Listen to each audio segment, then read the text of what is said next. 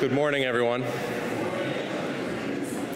Uh, thank you for joining us this morning and, and welcome to the 2011 uh, main campus reunion. We're um, uh, pleased and gratified and uh, uh, honored that you've uh, all joined us this weekend. I'm Bart Moore. I'm a graduate of the School of Foreign Service, class of 1987. I've been a member of the Georgetown community for 28 years and I have never spoken from this stage before. So um, this is a this is a, this is a meaningful moment for me. Um, my, my sole role this morning uh, in my position as Vice President for Advancement for the University is to welcome you, which I've already done, and to introduce uh, our speaker uh, for this morning's program. Uh, and he, I think, truly, uh, often it's said that um, the introducee requires no introduction. I think that's often the default of a lazy introducer. Um, but in fact, in, in this community and in, in this audience, I think um, President Jack DeGioia requires very little, probably no introduction. Let me just, if I may, um, note this summer, uh, this month, um, Jack marks the conclusion of his 10th year as president of Georgetown.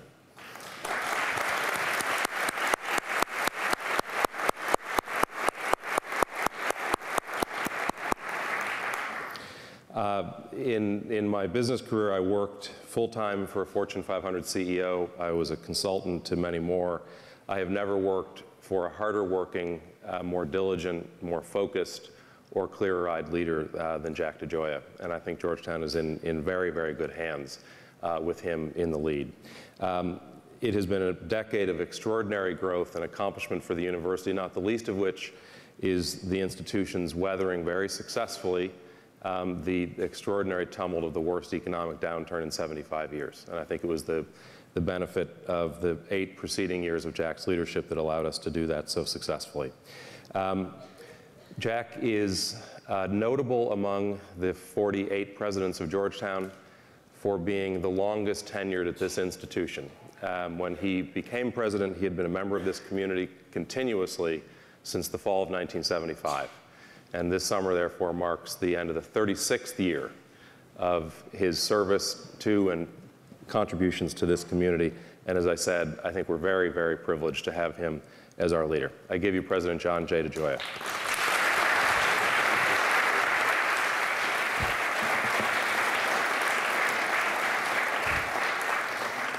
Thank you very much, Bart, for your introduction and for your leadership here at Georgetown. It's great to have you back here on the hilltop. For members of the classes of 1986 and 91, you might remember Bart during your undergraduate years as a real leader in our undergraduate student body. I've got the opportunity to know him during those years. I was serving as Dean of Students when he was an undergraduate. And to be able to have Bart rejoin our community at this time in his life, after the kind of career success that he's had, to be able to make the kinds of contributions that he's now making to Georgetown is ex just extraordinary. And so I can't thank you enough for your leadership and for being here. And to all of you, thank you for being, being back here on the hilltop and welcome home for your reunions. It's a pleasure to have this opportunity to be with you this morning. I want to thank you for being here and I want to thank you for the countless ways in which you support Georgetown as volunteer leaders and as donors. As you probably have imagined, um, we're in the midst of a very busy season at Georgetown. It was just two weeks ago today that our undergraduate schools went through their commencements. Over the course of the weekend, if you count our graduate programs, our professional schools, our undergraduate commencements, we had 5,455 students come across the stage and uh, had the opportunity to um, congratulate every one of them. Um,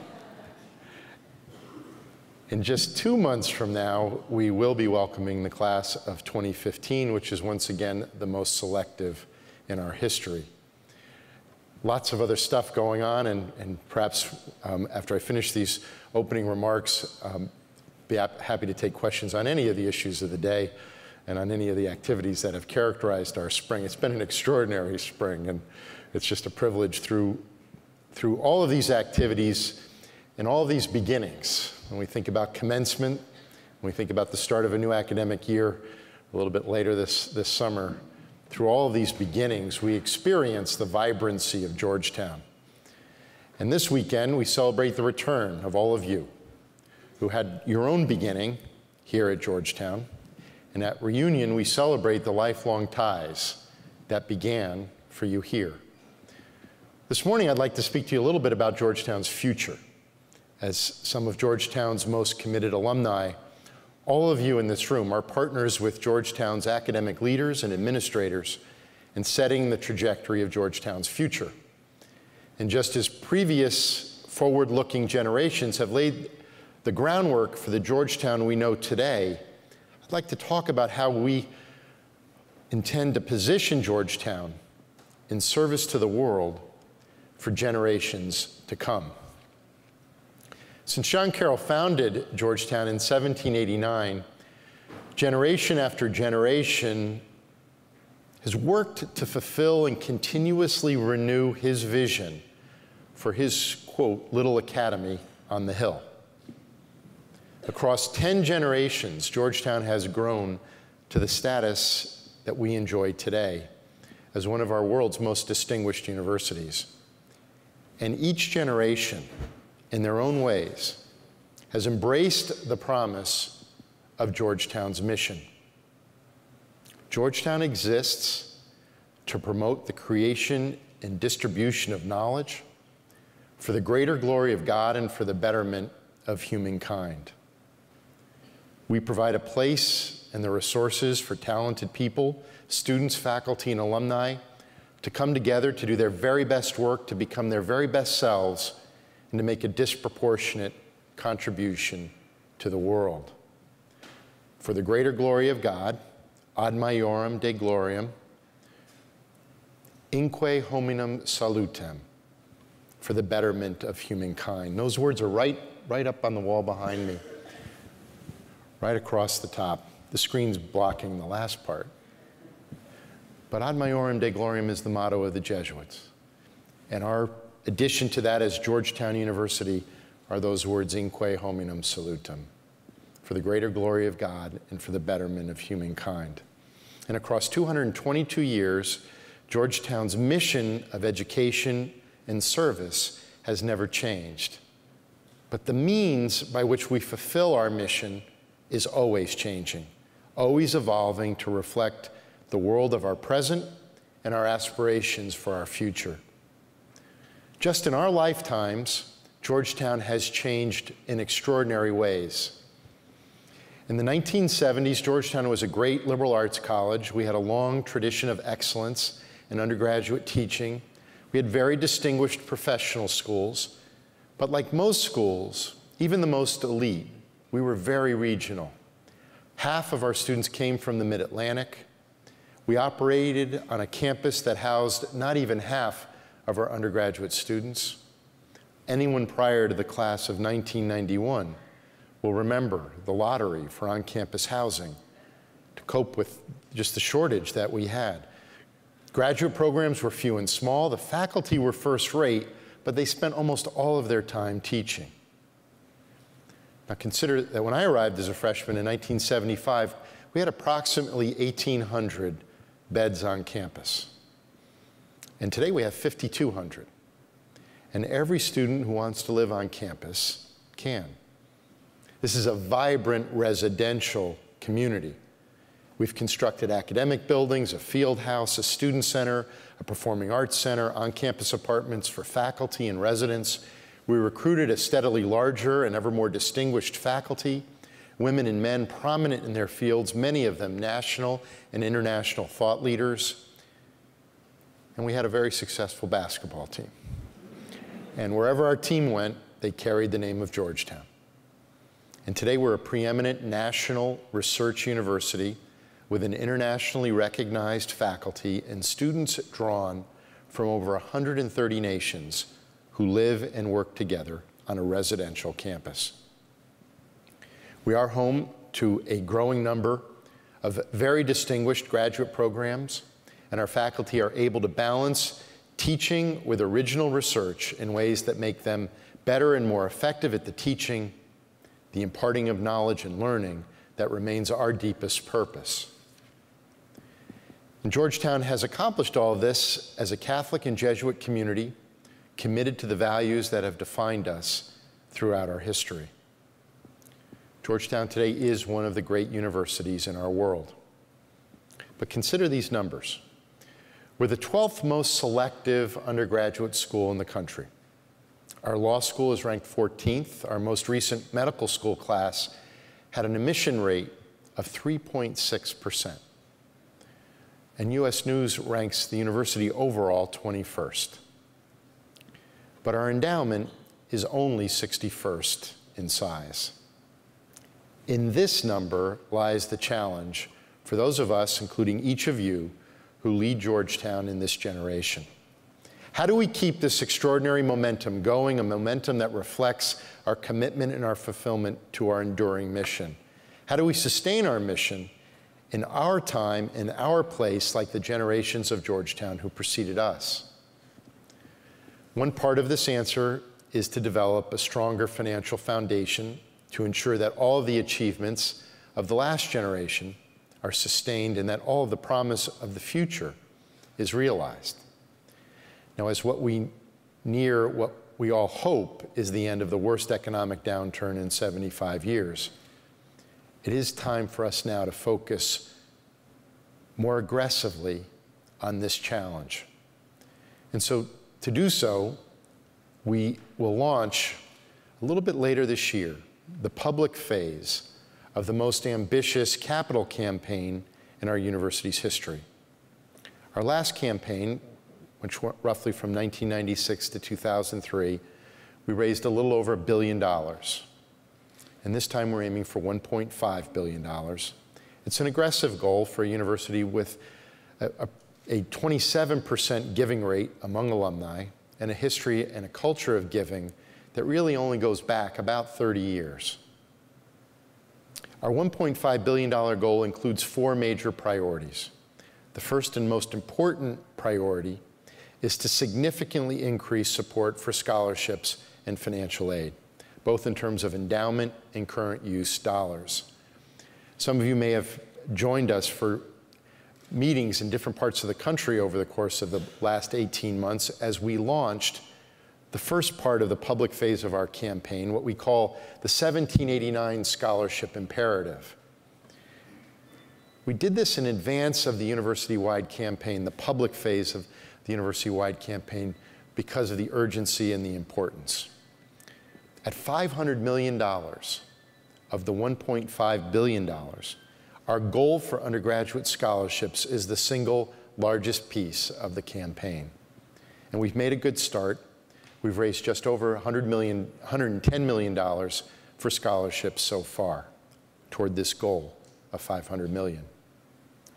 In addition to undergraduate scholarships, we've established a $100 million goal for graduate student scholarships and fellowships, making our total scholarship goal $600 million. Our next largest campaign goal is to raise $400 million to invest in our academic programs, particularly and specifically our faculty and their research, all to sustain our tradition of academic excellence. This will allow us to recognize the performance and potential of our current faculty, to fund the recruitment of the very best new faculty, and to invest in innovation in teaching and learning. Next to ensuring that the very best students can come to Georgetown, there's nothing more important than investing in our faculty. Another big part of what we do as a university is to provide the physical spaces for people to do their very best work. And that means we will continue our investment in capital infrastructure with a $150 million goal in our fundraising campaign for, the, for campus and community experience. This will support the construction of our next major facility investment, a new intercollegiate athletics center We'll also renovate and expand student activity space, provide more study space in Lauinger, and preserve our sacred spaces through the renovation of Dahlgren Chapel, as well as the building of a permanent home for our spiritual retreat programs. It will be called the Calcagnini Contemplative Center, which will be located on 55 acres in the Blue Ridge Mountains, in part due to the $17 million gift from Arthur Calcagnini to create this new center for our retreat programs. This goal of raising $150 million for campus and community experience also includes investments in some of our non-academic programs, including endowing our chaplaincies for our Jewish, Protestant, and Muslim students, as well as continuing to expand career and net networking services for our students. And then finally, a fourth pillar of this campaign, if the first is our commitment to scholarships, our second to our faculty, our third to building the, the, the spaces and the capacity to enhance the, the, the student experience, the community experience. Our fourth pillar is to find ways to ensure we can maintain and expand our distinctive place among the best universities in the world, a world in which we want to seize opportunities that provide us to take the next steps as a university. I believe here our success will be marked by transformative breakthroughs that will define the Georgetown that we leave to generations that follow us. And I'm thinking here about fields like interreligious engagement and environmental studies, global health, human development, transnational law, deepening our already pioneering work in applied ethics. I'm envisioning work here with new partners and collaborators in China, in India, in Mexico, in the Middle East, in Africa, in South America, and in the European Union. I'm seeing learning and study that happens through both physical and virtual connectedness. We set a goal here of $350 million to encompass these transformative opportunities that will, if we are successful, define Georgetown's impact around the globe in the decades ahead. One thing is very clear about achieving these goals is that we will not be successful without all of you. The potential of Georgetown in this and in future generations is boundless. And we will depend on the support of this generation of our extraordinary alumni to achieve our full promise and potential. As Georgetown's most committed alumni, parents, and friends, all of you in this room will be partners with Georgetown's academic leadership in delivering this new message. Now is Georgetown's moment to set the trajectory for the next generation. And the message to others who are not in this room is simple. There is a way for everyone to be a part of this effort. Every member of our community can participate, whether it's through their contributions to the Georgetown Fund, for those who can make more significant investments, gifts to endowment for faculty and students, or gifts for our much needed facilities. Whether it's participating in efforts to support our students' work or whether it's spreading the word about this campaign in communities wherever there are Georgetown alumni and parents, all of us, all of us are called to support Georgetown. We need all of you in this room to help us engage them. Sustaining the path that has characterized our generation is critical, but it's not enough. In the spirit of the Jesuit concept of magis, the Latin word for the more. It's right there in, in that second word, maiorum. The more. We see how much more we are capable of, how much more we can be, how much more of an impact we as a university community of students, faculty, and alumni can have on our world. And we know that success in this campaign will transform yet again the next generation and its impact will be felt for generations to come. I'd like to close my remarks by showing you a short video that celebrates the transformative impact that giving has on Georgetown students. As I mentioned a moment ago, we've raised more than $110 million in scholarship support for students through the 1789 Scholarship Imperative. Alumni support helps makes, makes possible our commitment to meeting the full financial need of every qualified student who comes to Georgetown. And our position as one of the great universities in the world is inextricably tied to our commitment to having the very best students and the very best faculty at Georgetown. So please, let's take a look. My name is Guillermo Barriga. Uh, I'm from Denver. My parents are originally from Ghana, so I am the first generation here in the United States. I'm from Durham, Connecticut. It's a small farming community. When I got my admissions letter, the envelope was really small. There's a running joke on campus because acceptance letters come out in very deceptively thin envelopes. I called my mom right away. She wasn't home with me, but we were just so excited. I started screaming and I actually twisted my ankle and fell on the floor. Awesome. This is, this is amazing. And then the reality kind of set in, you know, can I afford to go there? Then I received my financial aid package and I, it was, oh man, I, I, did, I actually didn't know what to do. It's been really exciting. It's been challenging, but it's opened a whole lot of doors for me. It's been amazing. So far, I'm having the best years of my life. I have made my best friends here, the people who will walk in my wedding. We come here to really strive to make the world a better place. Everybody here respects each other. Here you can be challenged with a lot of the big questions of life. The idea of becoming a different person, of giving back to society. It's going to change and define everything that I can be. I want to be a woman for others. I love this place. I'm proud to be a Hoya. I bleed blue. I'm a Hoya. Hoya for life. Hoya for life. Our identity as one of the great universities in our world is inextricably tied to our ability to ensure that the very best students can be here. Because we meet full need at Georgetown, it allows us to attract the best students where the fit is right, and sometimes the financial situation in the families isn't. If I did not have a scholarship to come to Georgetown, I will not be here. My mom could hardly support us, me and my three brothers. So imagining trying to raise thousands to go to college, that's for me, it would have been impossible. It was everything.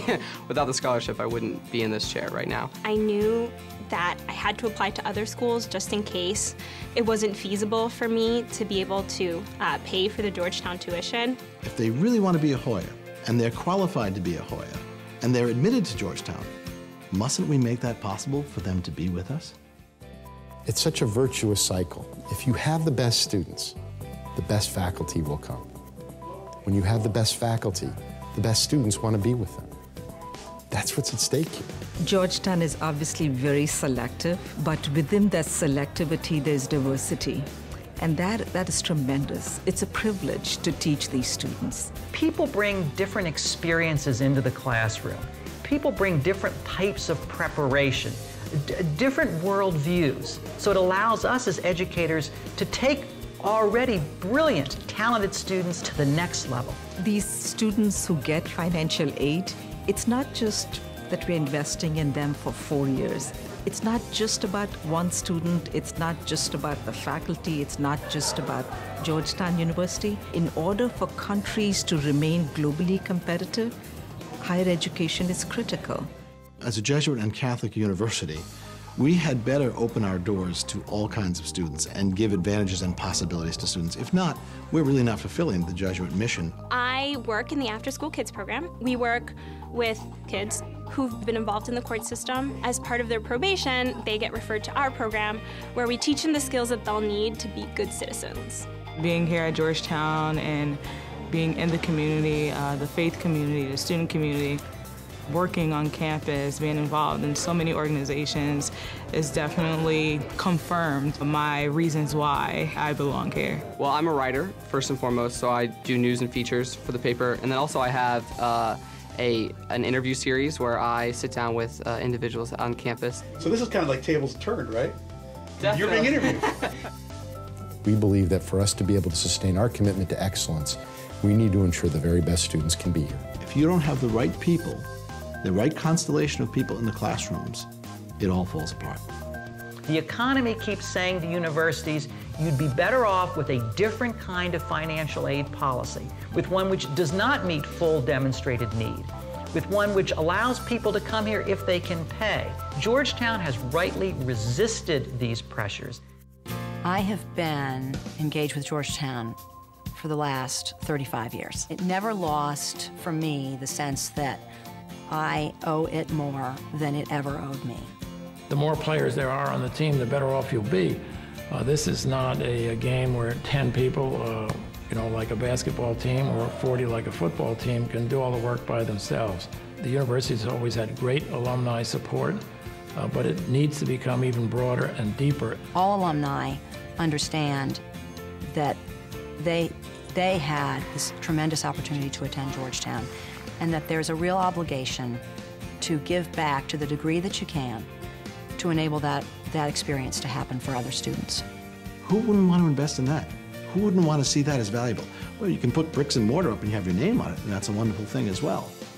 But now you're transformed a life, not just a space. You didn't just write a check. Yeah, I'm here. My life would have been completely different had it not been for the generosity of all the donors. It's a great privilege, great privilege. For me, it was like, I don't have the money, I have the grades, so now I just have to work really, really, really hard to get there. Um, and I appreciate my donors for trusting me that I will succeed. Um, and I believe that I am succeeding. Excellence does not know color, ethnicity, or socioeconomic class.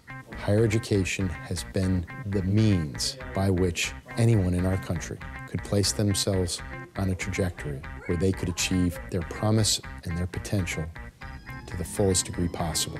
And that's what scholarships are all about. I came to Georgetown as a freshman in 1975. And during the course of my undergraduate years, I received need-based aid. I've been at Georgetown since 1987. Absolutely, I'm truly a Hoya. Hoya forever. Go Hoya! Hoya for life. I have my blue Hoya wig. I bleed blue and gray. Hoya Saxa. I'm gonna love being here forever. We are all definitely Hoyas. Oh, I'm a Hoya. I'm a Hoya. I'm a Hoya. I will be a Hoya for life. I'm a Hoya. I'm a Hoya. I'm a Hoya. I'm a Hoya. I'm a Hoya. I will always be a Hoya.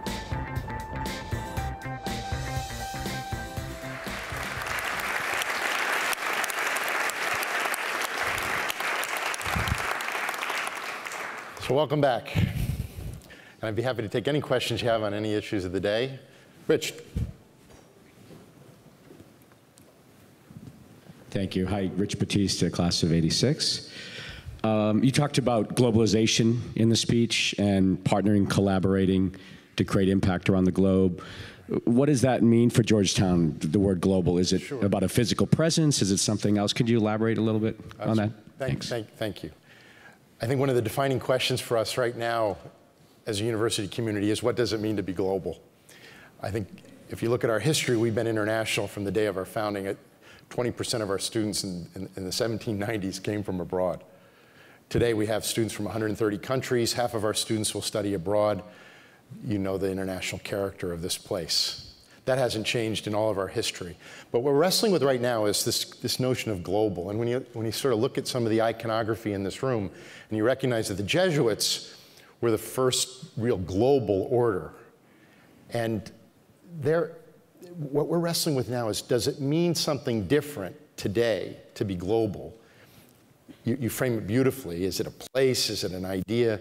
What we're wrestling with right now is what does it mean to be a global university, and does it demand new kinds of things from us? And the way we're wrestling that is by trying some new things.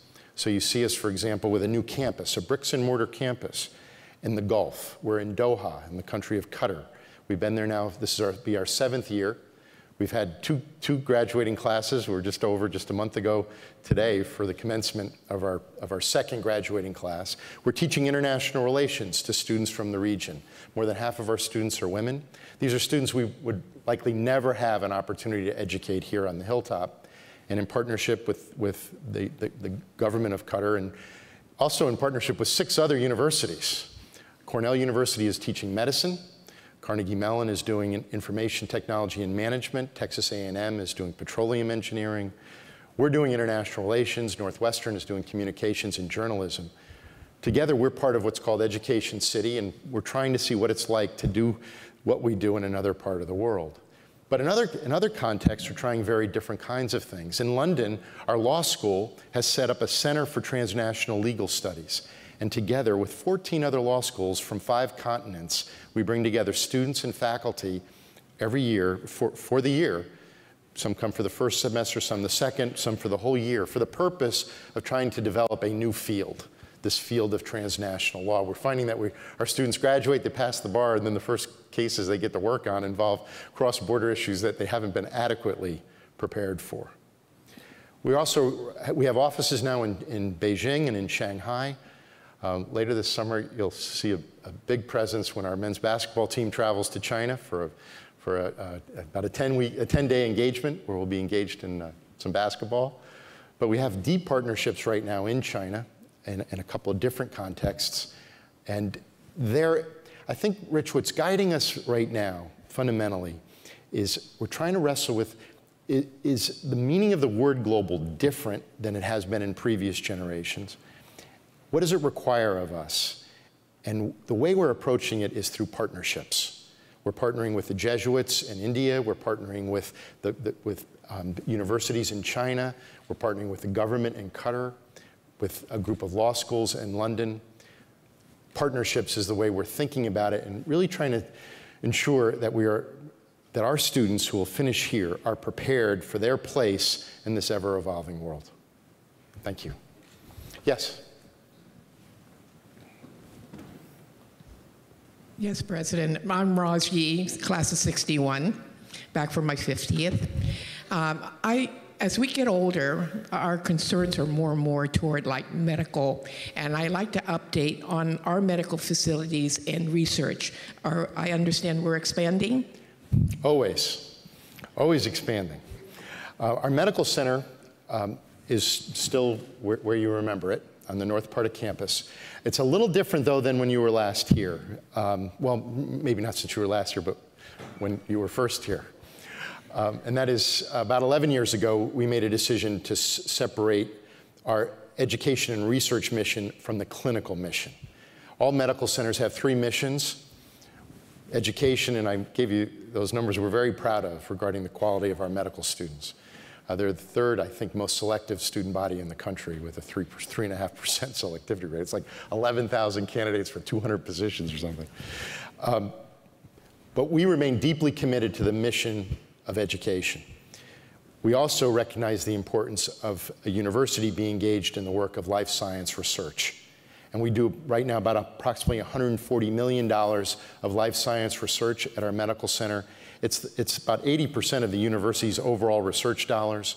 And that, that, that engagement puts us roughly in the top third of academic medical centers in the country.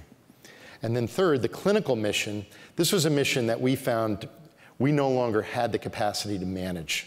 We found this in the mid to late 1990s, and on June 30th, 2000, we sold our hospital to the largest not-for-profit system in the region, and that's MedStar Health. And for the last 11 years, the hospital has been managed by MedStar.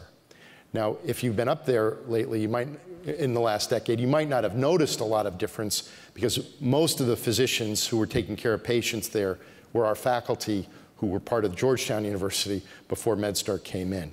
But MedStar is now responsible for the operation of the hospital, and it's been a very good partnership for us.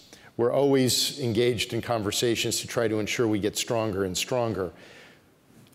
At the present time, they're wrestling with some issues related to, to um, uh, the physical plant.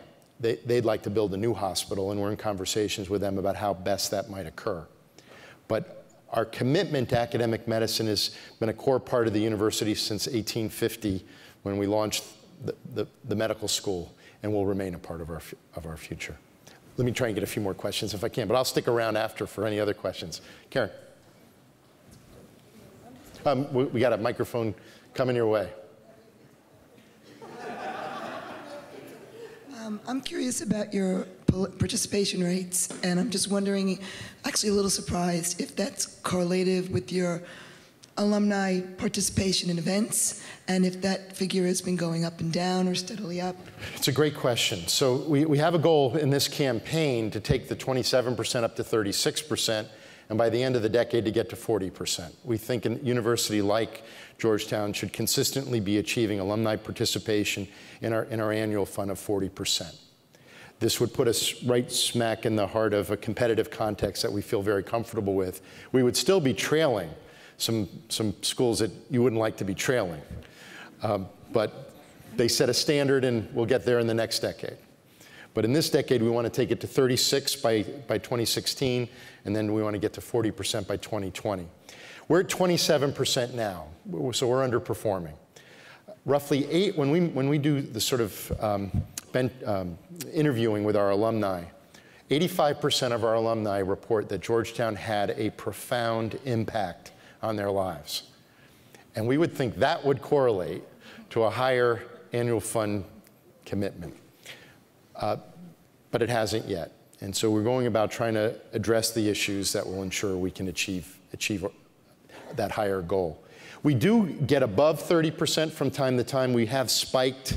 So you might remember a presentation 15 years ago where we might have been at 31 or 32. But the reality is consistently we, we, we're below 30 consistently, except for some variation over a long period of time. And it's simply not commensurate with where we need to be. And so it's part of what we hope to accomplish over the course of this next decade. Yes. Here's the microphone right to your right, sir. Good morning. Good morning. I'm Anthony Munoz, the class of 1961 School of Foreign Service. And uh, I'm very proud of the education that I've received here. It's been phenomenal in my global career.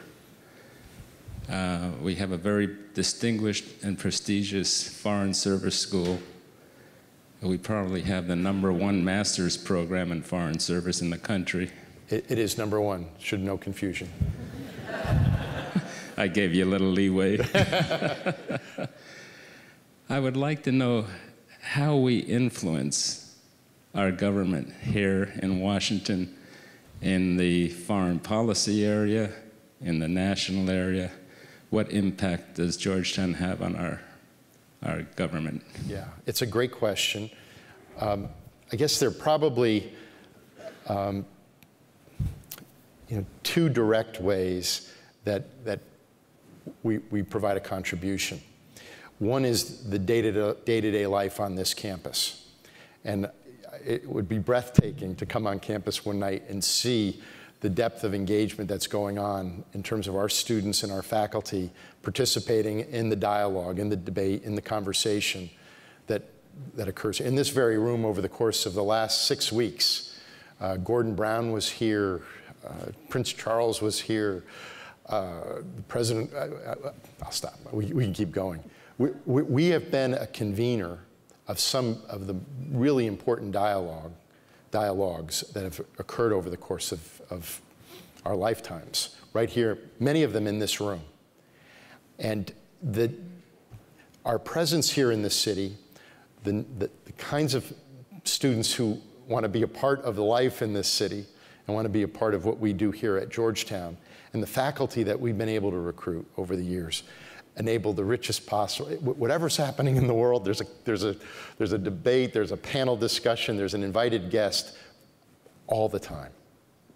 The second way I think we make a contribution is by the lives some of our graduates lead. And you know, it was, it was very powerful at different points in time for me in the last few years when you could see uh, the Secretary of Defense, Robert Gates, a Georgetown graduate, did his PhD here. The National Security Council advisor, Jim Jones, undergraduate, class of 67 here. Um, we could go through virtually every part of the government and you would see honorable men and women who did their undergraduate or graduate training here at Georgetown doing their very best work and trying to make their very best contribution to the work of our, of our country. In addition, we also do that in other countries too. We had at commencement just a few weeks ago, two weeks ago, the, the, the, the keynote speaker for the School of Foreign Service is, the, is an alum of ours, the president of Costa Rica. And we have a few others that we could brag about.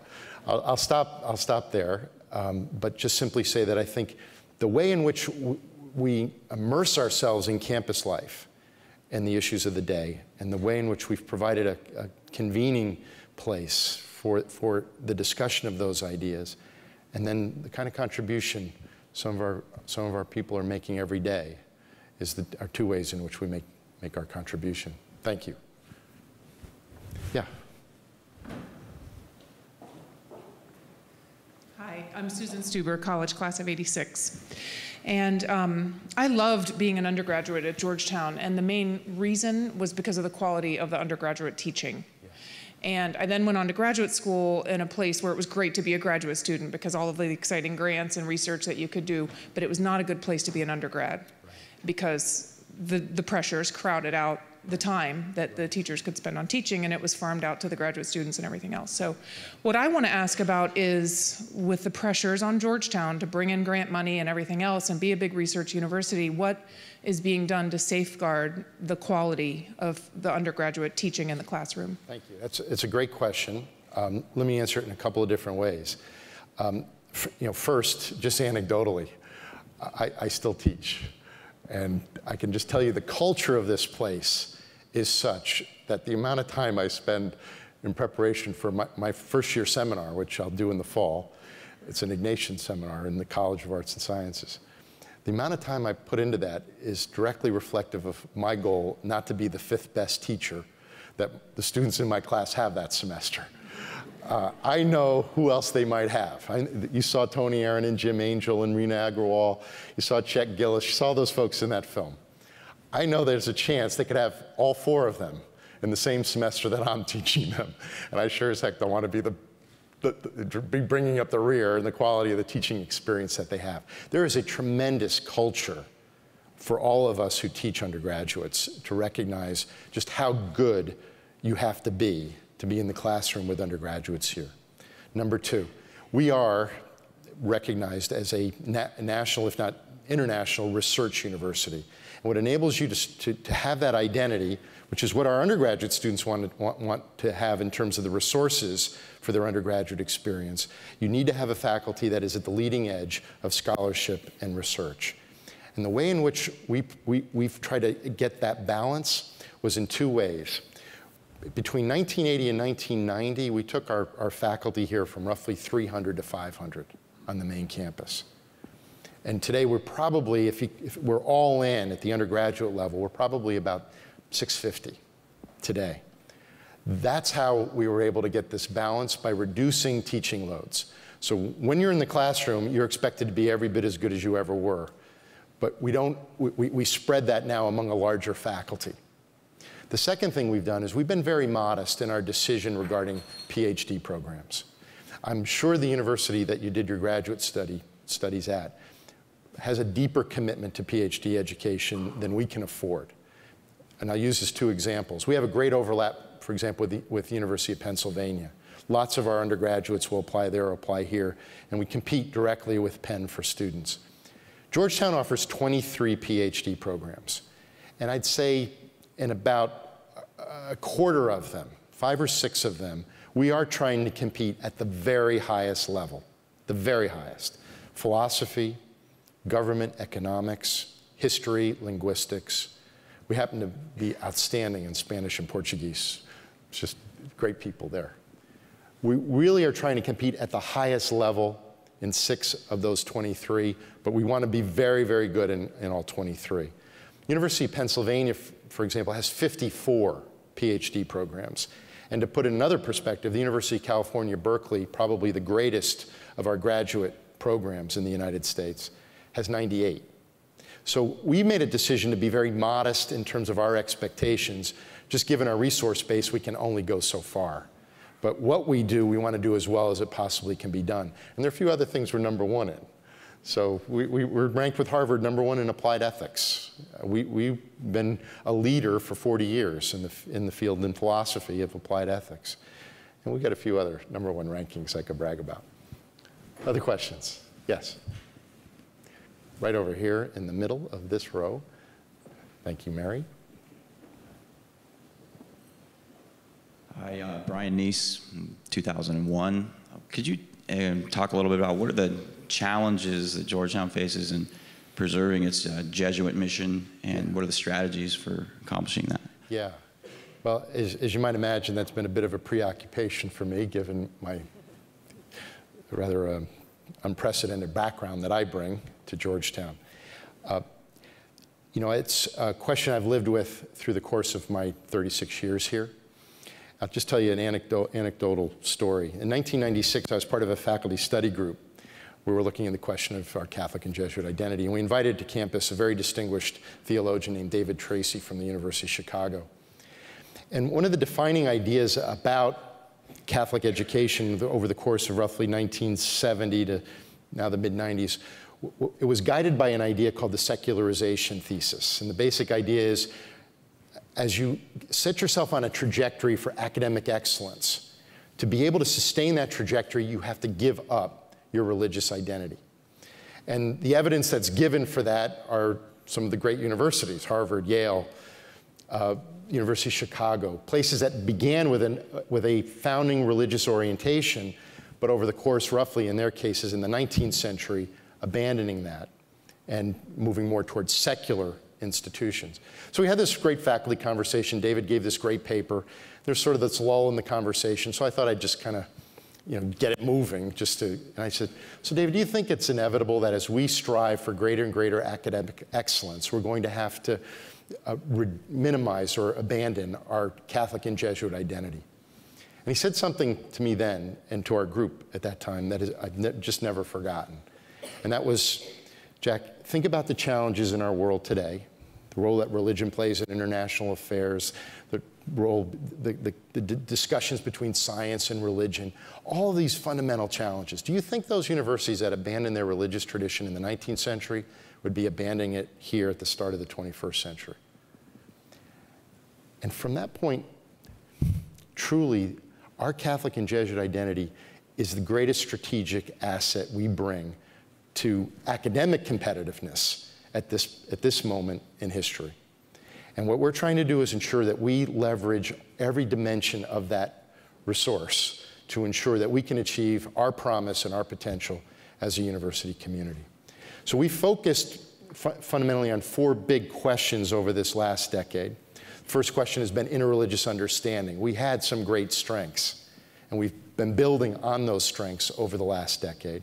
The second has been Ignatian spirituality, which has never been more available to us, to, to lay people, than it has in the last roughly decade or so. We now offer for our faculty the opportunity to do the full Ignatian experience in what's called the 19th annotation. This, this wasn't available when, when most of us were undergraduates or even graduate, graduate school. So we've, we've created real capacity to provide our students and faculty with the ability to experience the animating dynamic of, of the Ignatian tradition, which is Ignatius' spirituality. The third has been the engagement with questions of social justice, which have been challenged Father Pedro Arrupe, the leader of the Jesuits from 1966 to 80, 83, put on our, on our plates. If you're, if you're an institution that calls yourself Jesuit, how are you responding to the challenges of social justice in the world? And then the fourth question is a broader one. It's, it's a little less easy to be precise about it, but it really is how do we bring the values of our tradition into engagement with the values of culture? And it's an old, an old Jesuit had this idea that the university, the Catholic and Jesuit university, could be a place where the university meets the world, the world meets the university. And we've been trying to provide that kind of framework with a lot of the things that you see us doing right now. So I hope that gives you a little bit of an idea of how, we're, how we've been wrestling with it. Uh, I'm, I'm blinded by the light. So I'll, i trust that you're there, this disembodied voice, and please ask a question, and I'll, I'll, I'll make sure Hi, everybody hears it. Over here, more towards the center. Okay. I'm Joan Trant, class of 1981. Uh, hi there. What I see you now. School of Languages and Linguistics. Yes. I'd like to follow up on, on your last comments. Yes. Since our mission is embedded in uh, betterment of humankind, yes. I think we have three key ways that we can do that. First, through fabulous academics within this Ignatian ideal of social justice. Secondly, our discussion in the public square. But third, our endowment. That's a great tool for us. So I'm curious to know how are we looking at investing our endowment, particularly in this burgeoning field of impact investing? Sure, sure. Um, I wish we had a lot more that we could be investing in the way that you describe. And um, but, but in fairness, um, for some of you who've been around a while, I think you'll know different roles I've played at the university. At different times in my career, I've been deeply engaged in the issue of social responsible investing. This is a question we're re-examining now. We had a special committee of our, of our investment committee and of our board wrestling with that question over the course of this past year.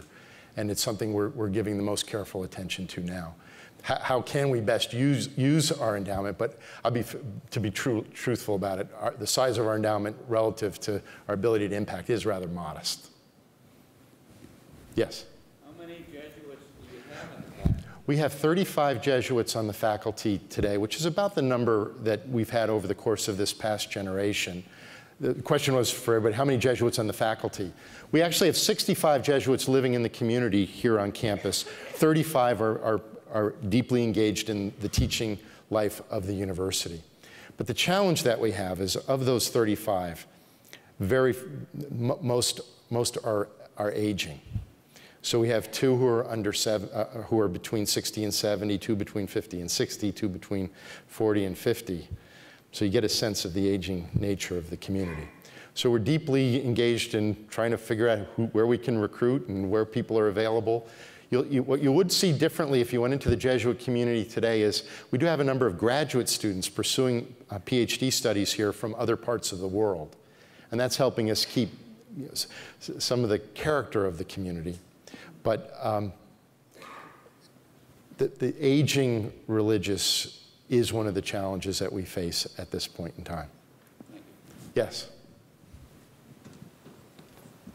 Thank you. I'm Maury Hardikin from the uh, College of 61.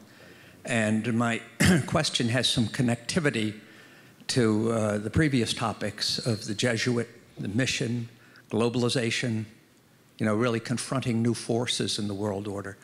The question is, how do you resolve the eternal question of, you know, are the interests and the, the ethics of potential donors, are they not only incompatible with the foundation of Georgetown and its mission, but are they antithetical with it? We see so much of that, and it has to be a great, a great issue for you. So I'd, I'd appreciate some comments. Sure, sure. Um, you know, clearly there, there's no uh, gift conversation that we could enter into in which we can't be authentically who we are and true to our, our values and, and our identity. And so um, there are places in, where we're engaged in the world where we are asking ourselves questions every day is this the most appropriate way for us to be engaged? Um, I can give you uh, perhaps a brief uh, recent example of, of the nature of that engagement. And that is one of the things that we're doing right now is um, we've, we have partnered with the um, Ministry for Religious Affairs in China. And religion in China is a very complex issue. And really, at the request of the church, we went in and began exploring these questions and ended up into a, a dialogue which is formal, in which we do a conference in Beijing, we do a conference here on the role of religion in China. Uh, as you know, the Catholic Church is divided in China. There's the underground church, and then there's the patriotic Catholic Church. And th this is a divided church. And the goal over time is to be able to integrate and bring these, bring these together. We're providing a forum for dialogue with both with people who would represent the church and pe people who would represent the Chinese government. And that takes place sometimes right here on this campus. And part of what I do, last week I was in Rome for a week meeting with church leaders, and one of the things I wanted to make sure I did was review exactly where we are in this process to make sure everybody was comfortable and understood and supported the role that we were playing because we're 222 years old. There's, there's, there are risks we don't need to take. We, we have to ensure that every year 1,500 new undergraduates coming in are going to graduate four years later with the very best possible experience. When you're 222 years old, you can, you can use, use time and judgment to make decisions as to where you should be engaged. And so in this case, when we signed the agreement here, the Apostolic Nuncio and the Cardinal Archbishop of Washington were present for the signing ceremony for that agreement with that ministry. And I only use that as an example to say the rigor that we bring to every one of those questions as we get out into the world is, is that serious? I hope, that, I hope that's helpful, Maury. One more question. Yeah.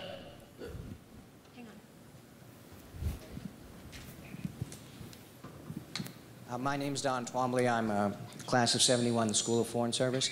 When we're talking about globalization and stuff, I'd like to raise a more parochial issue, which is I'm from Texas. Right. Uh, and I'm wondering, I was looking at the statistics concerning our, um, our student body, and I'm wondering if while we're globalizing, right. there'll be more of an effort to include other parts of the United States. For example, I think there are very, uh, relatively few people from my, my state or even my part of the country. And I'm wondering if there's going to be an effort while we're reaching out to the third world and other places to bring people here, whether we'll try to bring in some people from the United States that haven't been here before.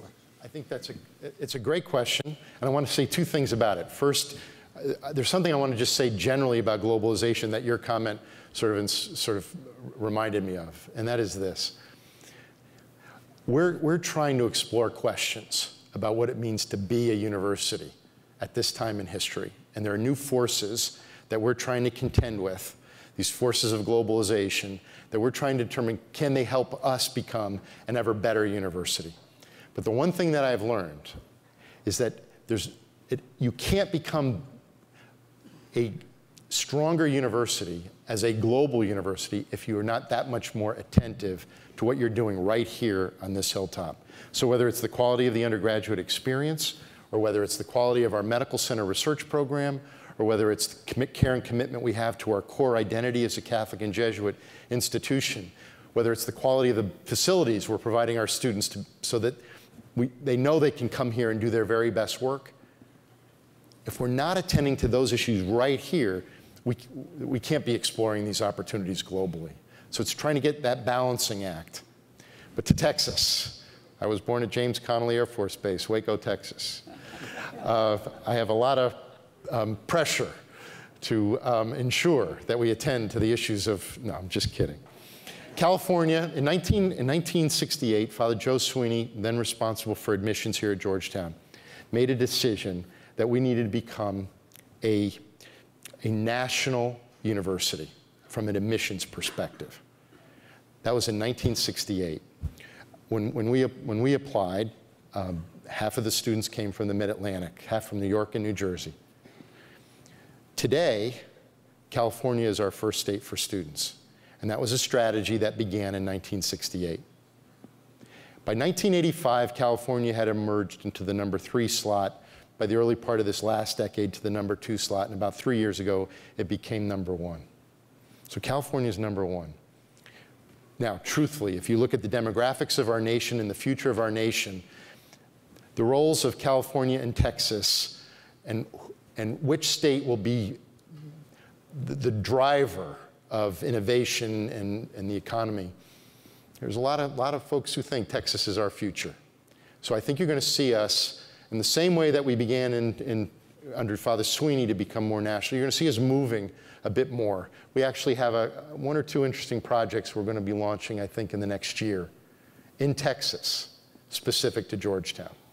Um, but we do believe that our, our America's long-term future does require a recognition of the importance that the state of Texas, just its demographics alone, it will be an important part of our future. But as you, as you no doubt know, there, there isn't the higher education footprint in Texas that was present in California. And so for Texas to be able to get their citizens educated, it's going to require a, a very different kind of answer in this next, in this next generation.